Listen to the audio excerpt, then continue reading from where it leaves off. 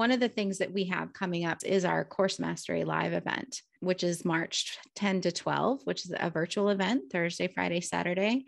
And it is for the purpose of helping believers who have a course turn that into a faith and family focused business.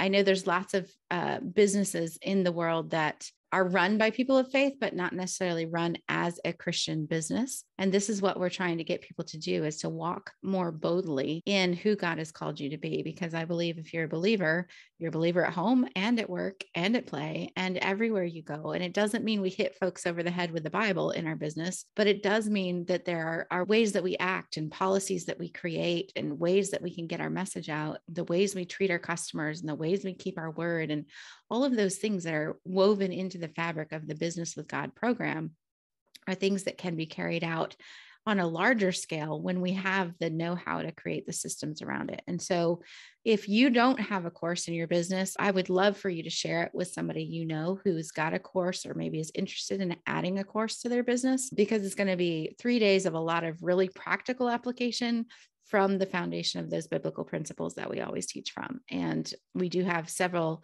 several tickets left to claim and excited to have people there. So, Course Mastery Live is the uh, link for that, coursemasterylive.com.